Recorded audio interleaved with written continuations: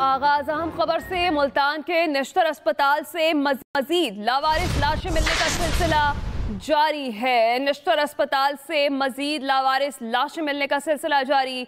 मजीद पचपन लाशें पुलिस के हवाले कर दी गई हैं। ईदी की मदद से लाशों की तदफीन का सिलसिला जारी है। इसके साथ साथ एनाटॉमी डिपार्टमेंट के मुताबिक ये गुजशत दो साल से लाई गई लाशों की बाकियात थी, जो छत पर महफूज थी। गुजशत रात 20 मुकम्मल लावारिस लाशें और 35 लाशों के ढांचे पुलिस के हवाले किए गए। इन सब लाशों के डीएनए सैंपल लेने के बाद पुलिस तदफीन करती है। इसी पर बात करेंगे अपने नुमाइंदे सलमान कुरैशी से। सलमान, क्या तफसलात हैं इस हवाले से आपके पास?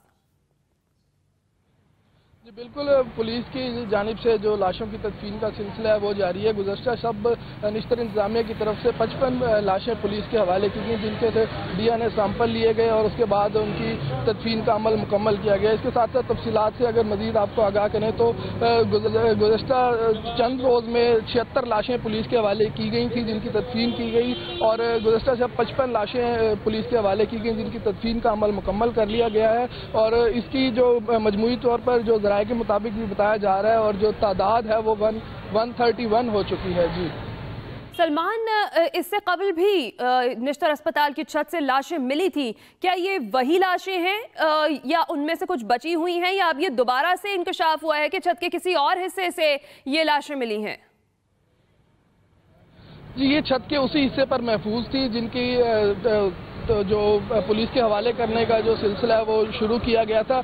जो चंद रोज़ कबल लाशें पुलिस के हवाले की गई थी, उनकी तादाद छिहत्तर बताई जा रही थी और अब गुजशत सब पचपन मजीद जो लाशें हैं, वो पुलिस के हवाले की गई हैं, जिनकी तमाम एस ओ पीज़ को मुकम्मल करने के बाद तदफीन का सिलसिला मुकम्मल किया गया है। जी।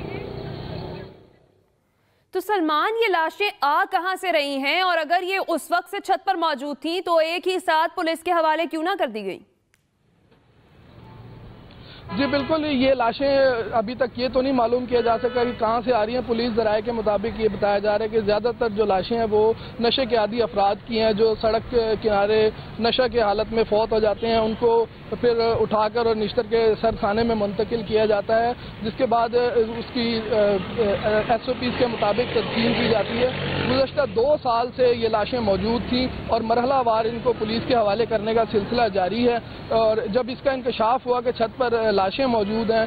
तो वज़ीर अला ने भी नोटिस लिया इंक्वायरी की गई तो उसके बाद से ये लाशें पुलिस के हवाले करने और तदफीन करने का सिलसिला तेज़ कर दिया गया जी। बहुत शुक्रिया सलमान कुरैशी, आप अपडेट कराए थे।